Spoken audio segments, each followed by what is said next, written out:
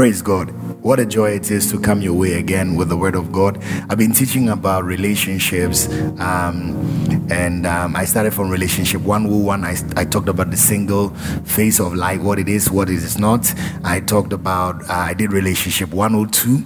I talked about some common mistakes single people make, and then I did relationship 103 and I talked about the empowerment necessary for single people. Today I want to do relationship 104 and um, I want to talk about sexual purity.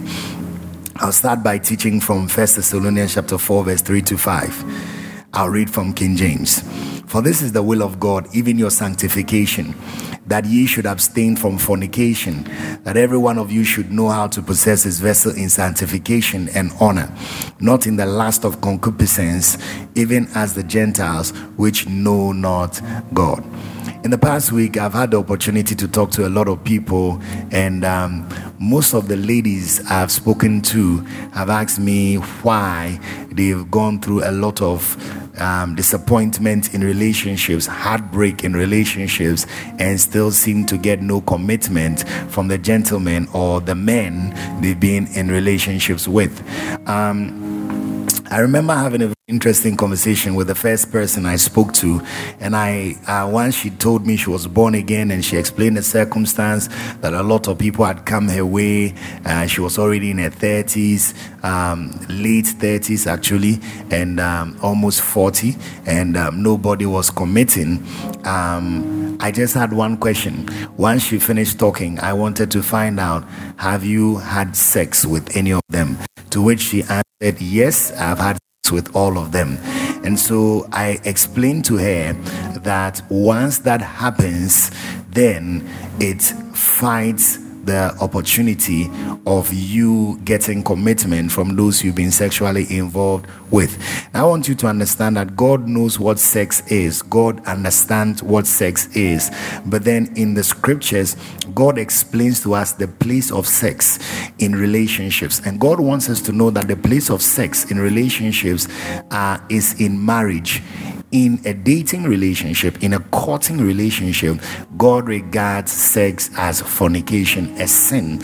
But in marriage, it is a righteous, holy act of love to be experienced between two married couple. Now, for many people, um, who are listening or who watch this video, I want you to understand that putting uh, that is engaging in sex before marriage is one cause, is one of the leading causes of people not having commitment in their relationships. And I understand sex is everywhere, sex is all around us. It is in the commercials we see uh, on the TV, the commercials we listen to, it is in the songs we hear. You know, you don't have to go far. You see people dressed very funny. Um, even when you come to church, you see that. You see people people um, when they are dancing, even the dancing move depicts sex. You see people talking, and uh, all of that comes with a lot of sex appeal. Now, because all of that gets thrown at us, many of us, even those of us in the church, have not learned well how to manage our sexuality. And God has a lot to say about that. You know, we thought that the Bible doesn't really talk a lot about that. Actually, when I got born again and I went to church, if you had um, something to say and you had questions to ask about sex, uh, some of the elders we met in the in the church all they would do is they will tell you to pray. God has put um, a desire in all of us. Now until you are married god wants us to learn to control the desire. But then before you get married the desire does not die. The desire is still present in you. And god wants us to learn how to manage that desire, how to control that desire until we are ready for marriage. Now, I want you to understand that if you are not learning to do that and you respond to every feeling, every edge, every emotion, and you are getting with everybody, sleeping with everybody, giving some to everybody who you meet, I want you to understand that you are going to miss out on the will of God for your life. It is not the will of God for his children to be engaging in sex before marriage. And I like to reiterate that. Um, as as we as we look at the society we're living, for instance, um, we realize that our society is driven towards sex, driven towards lust. You know, um, for for this YouTube channel, for instance, I wanted to learn about what makes videos go viral, mm-hmm. you know. And in my thinking, I thought that if somebody ever asked me, Pastor, what do you think makes videos viral on YouTube? I'll talk about content. And then as I began to learn, as I began to watch a lot of videos, I found out that most of them talked about the cover picture and they they mentioned that if the cover picture had sexual undertones it was easy to generate a lot of views because then most people will look at the picture uh, in the quest to satisfy some cravings okay? Now um interestingly, it is not just people who use this as a bait to get people to watch their YouTube videos. Satan also uses this as a bait to trap a lot of Christians. And so healthy, wholesome relationships that could have grown to glorify God are baited by the devil. And so, out of uh, the devil using sexual undertones, people are caught and people fall in that trap and become uh, victims of that. Now, as I teach, I want to uh, I want us to look into the Word of God and find out what God says and um, the kind of help that God has for us. Now, first of all, I want you to know that God knows that you have those emotions and those feelings you have in your body. God is not confused about that. Now, how God wants us to manage it in First Thessalonians chapter 4, verse 4, God wants us to control, God wants us to contain. And He says that that is uh, if we are able to possess our vessels in sanctification and honor. Now, the, the, the part where he talks about honor in this scripture, it, it means that if we can contain our vessels, if we can possess our vessels in sanctification, it honors God. I want you to understand that this is what God requires of us, that this is a desire, this is an emotion, this is something we feel in our bodies. But as long as we don't yield to it, it is a way of honoring God. It is a way of pleasing God. I've heard a lot of arguments also. People have said, but Pastor, you know, the people that uh, the gent, uh, the men that will come your way these days, they want to at least try, they want to at least taste, they want to at least test before they marry you. You see, what I want you to understand is that um, this is not. Uh, cake that we are selling on the market.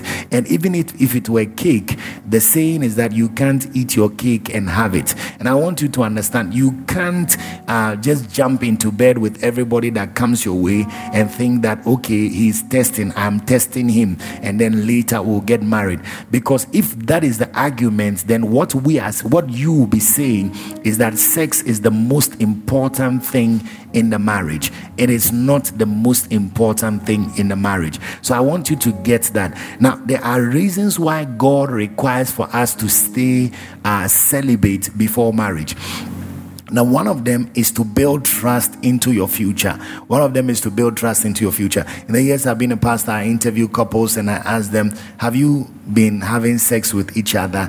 And then sometimes they say, No, Pastor and they are lying. And what I want you to understand is that if you can answer a question like that with somebody who claims they love you, who you claim you love, and you sit in a place and the both of you agree together to lie, what you have is that you know that in the future there's no trust because the same way you agreed and lied to your pastor, the same way you can agree to yourself to lie to each other.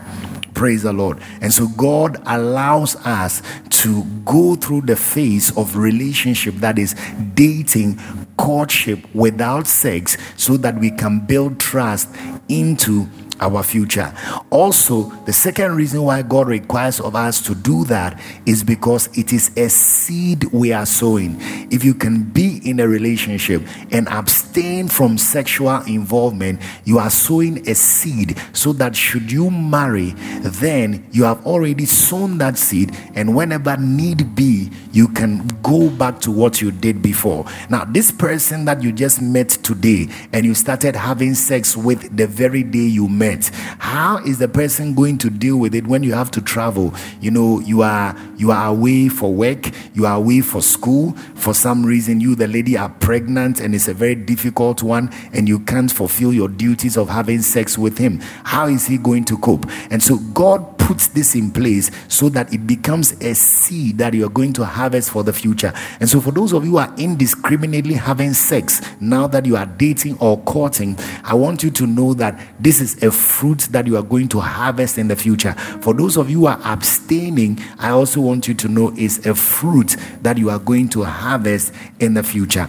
Now, God shows us from the scripture that this is one of the ways that we create a differential between those of us who are born again and those who are not born again. And so, by staying sexually pure, we demonstrate that we are children of our Father in heaven.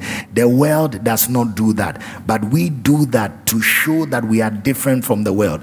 They have the feelings that we have, we have the feelings that they have, except that we don't gratify and honor those feelings like they do. We abstain, we contain, we possess our vessels in honor to God. And so this becomes an act of worship.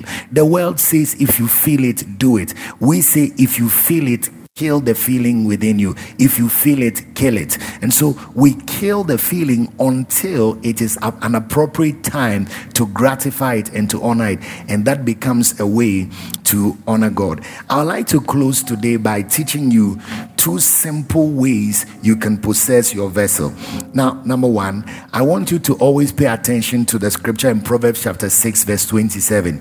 Proverbs chapter 6, verse 27 says that you can't embrace fire in your bosom and your clothes not be burnt.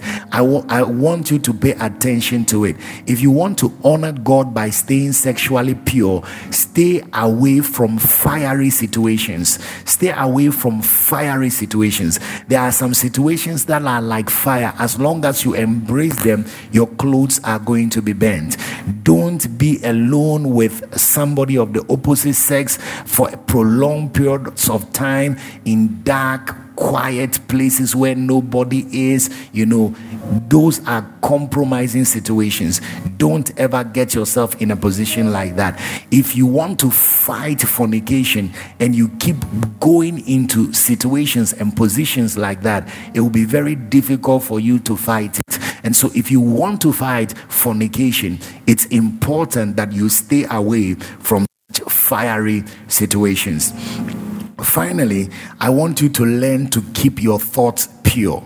Now, mostly the devil can shoot thoughts into your mind, send imaginations into your mind. What you do is that if it is impure, you reject it.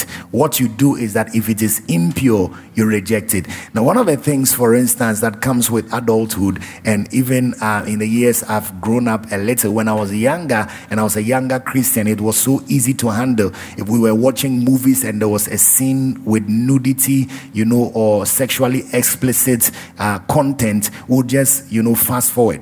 And then we grew older and we became more mature Christians and we became more relaxed. And so now, if there was a scene like that, you take your time and you enjoy the scene and watch it. Now, all the time you are watching those scenes, there's content that Satan can keep playing back in your mind. So I want you to know that if you want to keep your mind pure, you avoid things that the, the enemy can play back to contaminate, to corrupt, and to trouble your mind. And so if you want to keep your mind pure, aside actively, intentionally filling your thoughts with scripture and pure things, make sure that you are not consuming unhealthy things that will end up corrupting your mind, that will end up contaminating your mind.